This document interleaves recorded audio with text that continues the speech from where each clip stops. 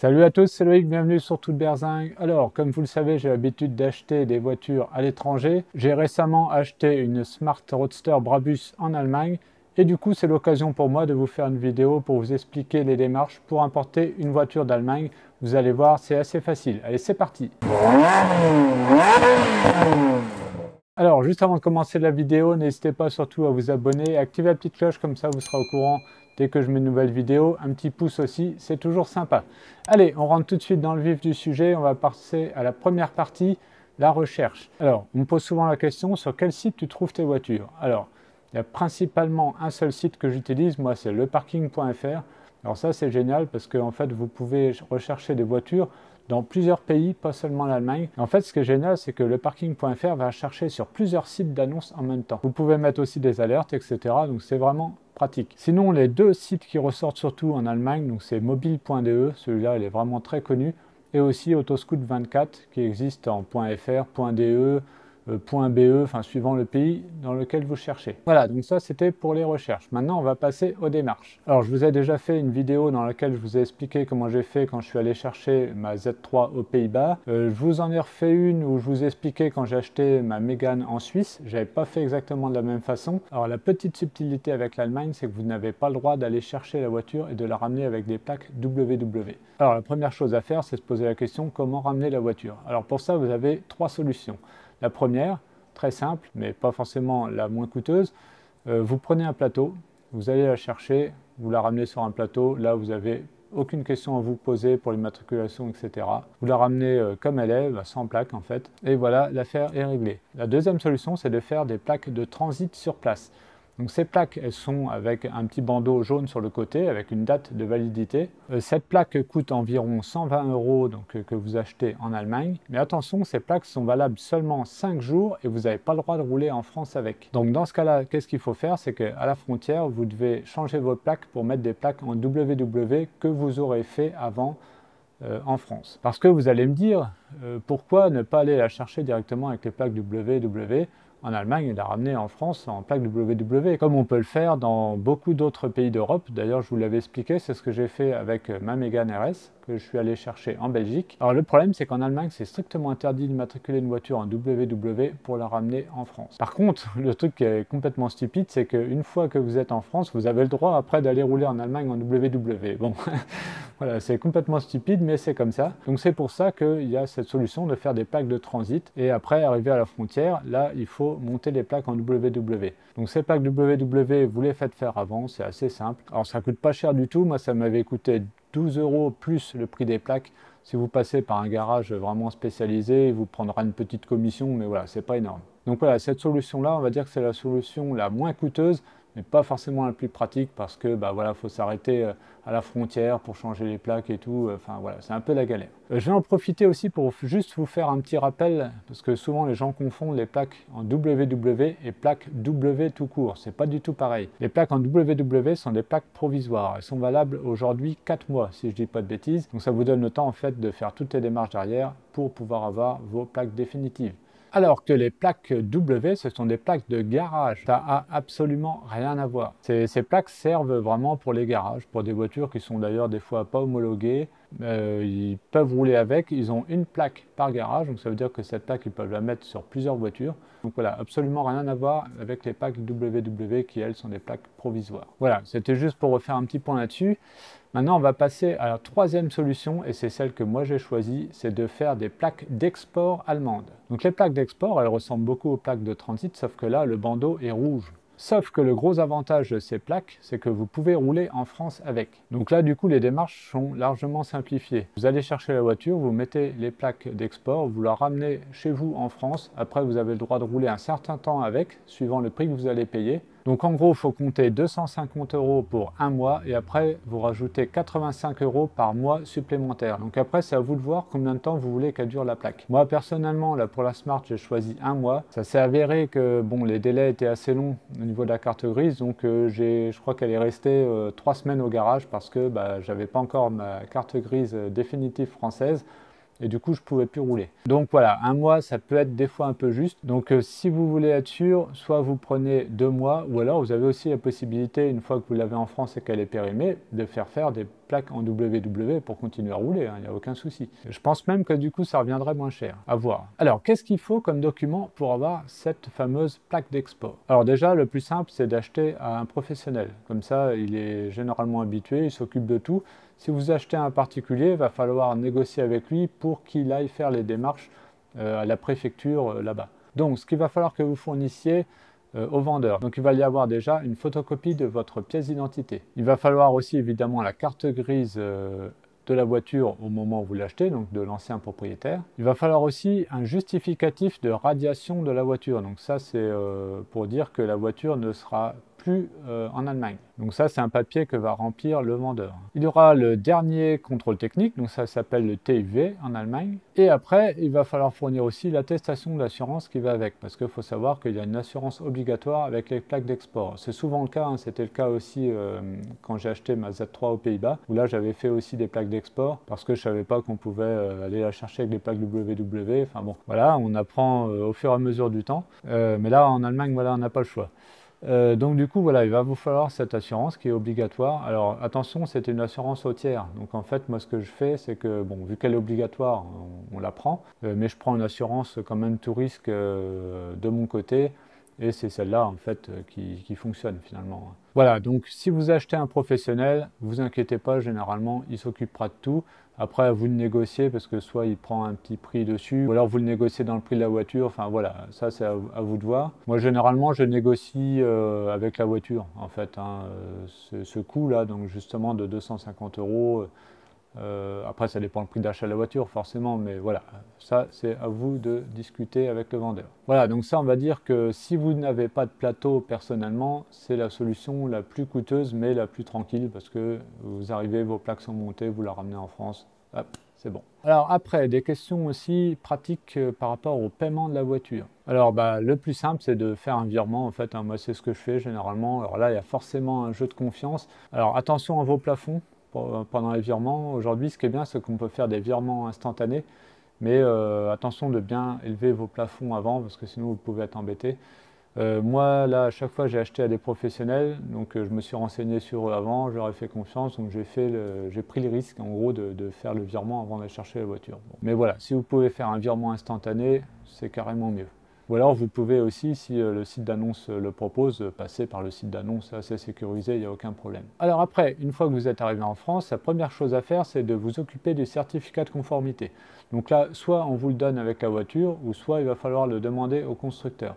Donc le certificat de conformité, si vous ne savez pas ce que c'est, donc pour rappel, c'est un, un, papier qui vous dit en fait que la voiture est aux normes européennes, tout simplement. Alors il n'est pas forcément nécessaire si vous avez euh, toutes les indications sur la carte grise euh, étrangère, donc là sur la carte grise allemande, il n'est pas forcément nécessaire. Donc ça, il faut bien regarder les détails. Donc pour savoir si vous avez besoin du certificat de conformité ou pas, il va falloir regarder sur la carte grise étrangère si euh, la partie D2 est remplie. Si elle est renseignée, déjà c'est pas mal. En fait, ça indique la variante du type de véhicule il y a aussi le repère K de la carte grise qui doit avoir deux chiffres après l'étoile. Donc voilà, si vous avez le champ D2 et les deux chiffres après l'étoile sur le champ K, c'est bon, vous n'avez pas besoin du certificat de conformité. Euh, sinon, il va falloir le demander au constructeur. Alors attention, ça peut coûter cher. Moi, sur la Ferrari que j'avais importée de Suisse, ça m'avait coûté 900 euros et encore, je n'étais pas allé chez Pozzi. Chez Pozzi, ça aurait été le double. Euh, je vous rassure, hein, pour des marques euh, plus standards, euh, c'est pas du tout les mêmes prix. Ça peut aller entre allez, euh, au pire 200 euros, voire moins. Après, ça dépend. Il y en a même, c'est gratuit. Enfin voilà, ça dépend vraiment des marques. Ça. Alors pourquoi c'était la première chose à faire? C'est parce que des fois, le délai peut être assez long suivant les constructeurs. Ça peut mettre un mois avant de recevoir le certificat de conformité. Donc voilà, renseignez-vous dès le départ par rapport à ça. Alors bien sûr, il faut aussi qu'il n'y ait aucune modification euh, notable sur la voiture parce que là, forcément, elle est plus conforme. Donc attention quand vous achetez une voiture euh, à l'étranger, qu'elle soit 100% d'origine ou quasiment, il ne faut pas qu'il y ait de gros changements parce que là, vous pouvez être embêté au niveau du certificat de conformité. Alors, juste attention par rapport justement à la conformité de la voiture. Alors, je vais essayer de prendre un exemple assez simple. Euh, vous voulez acheter une Ford Mustang, mais une Mustang version US. Donc, ça veut dire que la voiture a été importée d'occasion euh, des US vers l'Allemagne. Donc la voiture était à la base aux normes américaines. Elle a été homologuée en Allemagne avec les normes européennes. Après, vous, vous voulez l'acheter en Allemagne, eh bien vous allez devoir passer euh, l'UTAC et l'Adreal, même si la voiture est déjà aux normes européennes. Donc ça, faites bien attention à ça. Ça peut être une voiture aussi qui vient du Japon ou de je sais pas où. Euh, si vous achetez une voiture en Allemagne ou d'ailleurs dans n'importe quel autre pays d'Europe, faites attention qu'elle vienne bien d'Europe. Sinon, vous allez passer à l'Adreal et UTAC. Ce qui n'est pas forcément impossible. Hein. Je l'ai fait moi avec ma Corvette. Euh, j'avais acheté euh, une Corvette euh, en Angleterre, sachant qu'elle venait des États-Unis, puisque c'était une C5 Z06. C'est une version qui n'a jamais été vendue en Europe. Donc je le savais. Hein.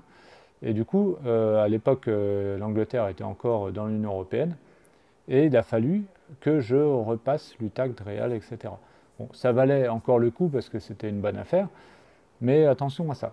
Alors, deuxième chose à faire, une fois que vous êtes en France, donc ça va être de demander un quitus fiscal. Alors, qu'est-ce que c'est un quitus fiscal? Donc en fait, c'est un document que vous allez demander à votre centre d'impôt local, et ce document va prouver que vous êtes en règle par rapport à la TVA, tout simplement. Donc vous inquiétez pas, vous n'avez rien à payer, parce que généralement vous avez payé la TVA en Allemagne. Cette demande se fait tout simplement par email à votre centre d'impôt local. Alors, pour obtenir ce document, il va vous falloir tout d'abord la carte grise allemande de l'ancien propriétaire. Attention, c'est pas la carte grise d'export ou de transit. Hein. C'est vraiment celle de l'ancien propriétaire. Il va falloir aussi une copie d'une pièce d'identité, Évidemment, une facture d'achat de la voiture. Donc, euh, si vous achetez à un professionnel, là, forcément, vous aurez une facture où ça sera indiqué dedans que vous avez déjà payé la TVA. Donc, forcément, vous n'aurez pas à la payer en plus. Si vous achetez un particulier, eh bien, vous fournissez un certificat de cession, en fait, qui fera office de facture, finalement, enfin, qui prouvera que c'est vous le propriétaire maintenant de la voiture. Vous aurez besoin aussi d'un justificatif de domicile et du CERFA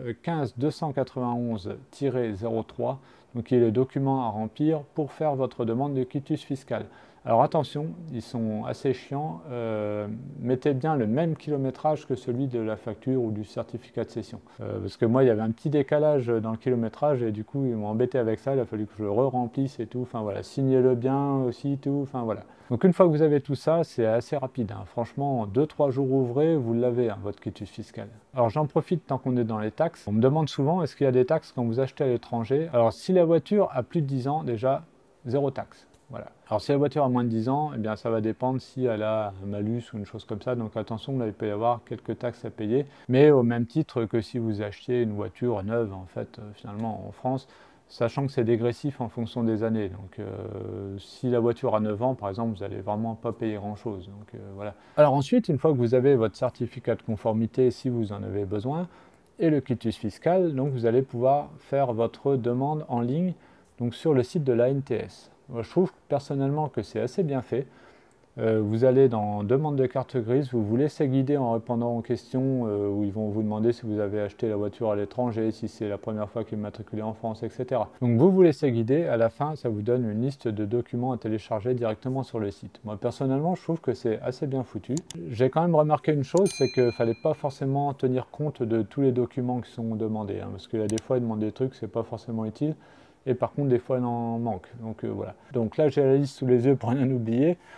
Donc ce qu'il faut pour avoir la carte grise française. Donc, première chose, il vous faut un contrôle technique de moins de 6 mois. Alors le contrôle étranger fonctionne. Hein. S'il a moins de 6 mois, vous n'avez pas besoin de contrôle technique français. Il vous faut la carte grise allemande de l'ancien propriétaire. Donc là aussi, c'est bien celle de l'ancien propriétaire. Hein. Si vous avez fait une plaque d'export, c'est pas celle-ci, c'est vraiment celle qui est au nom de l'ancien propriétaire. Euh, une copie d'une pièce d'identité. Euh, il vous faut aussi la facture d'achat, donc qui mentionne le kilométrage ou le certificat de cession si vous avez acheté à un particulier. Il vous faut bien sûr un justificatif de domicile, euh, le quitus fiscal, la demande d'immatriculation signée, donc ça c'est le CERFA 13750, et le certificat de conformité s'il était nécessaire. Voilà, c'est tout ce que vous avez besoin, donc vous chargez tout ça euh, sur le site de la NTS et après vous n'avez plus qu'à patienter. Voilà, donc euh, moi ça a pris un mois et demi, ça peut prendre moins, ça peut prendre plus, ça dépend. Donc, euh, sachant qu'avant, il a fallu bah, le petit délai pour euh, faire la demande de quitus fiscal, etc.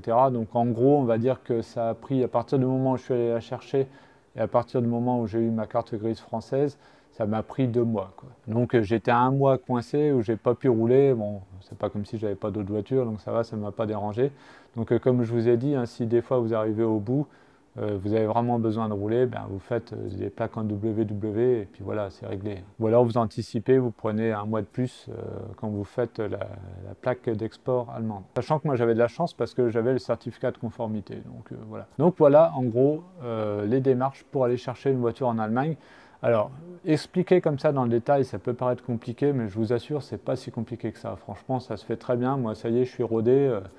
J'ai plus de soucis avec ça, j'hésite plus du tout à aller chercher des voitures euh, à l'étranger. Euh, si vous avez des questions, surtout n'hésitez pas dans les commentaires, hein, je vous y répondrai euh, autant que possible. Je n'ai pas forcément réponse à tout. Après, vous avez aussi la possibilité de passer par des professionnels hein, si vraiment vous ne vous sentez pas à l'aise. Un petit truc aussi, c'est vrai, c'est la langue. Bon, si vous ne si vous parlez pas trop anglais, c'est vrai que ça peut être compliqué. Mais bon, voilà, après, on apprend de ses erreurs. Hein. Moi, j'ai commencé avec la Ferrari que j'ai importée de Suisse. Alors, je vais pas commencer par le plus facile, parce que la Suisse, donc c'est pas l'Union européenne, donc là il y, a la, douane à payer, etc. Enfin, c'est tout un bazar. En plus, j'avais le certificat de conformité à demander chez Ferrari. Enfin, voilà, c'était un, peu plus galère, mais j'ai commencé par du hard. Et du coup, euh, après, pour moi, c'était facile. Le reste, euh, la Z3 aux Pays-Bas, euh, donc là j'avais fait une plaque d'export parce que je savais pas qu'on pouvait faire des WW. Enfin, on apprend au fur et à mesure euh, et puis bah voilà quoi. Et eh bien voilà, en tout cas j'espère que cette vidéo vous a plu, qu'elle vous sera utile si vous envisagez éventuellement d'aller chercher une voiture en Allemagne. comme je vous ai dit, n'hésitez pas à poser vos questions en commentaire et si donc cette vidéo vous a plu, bah, n'hésitez pas à mettre un pouce bleu, n'hésitez pas aussi à vous abonner, à activer la petite cloche comme ça vous serez au courant dès que je mets une nouvelle vidéo. On se retrouve très bientôt sur tout Berzingue. Allez, salut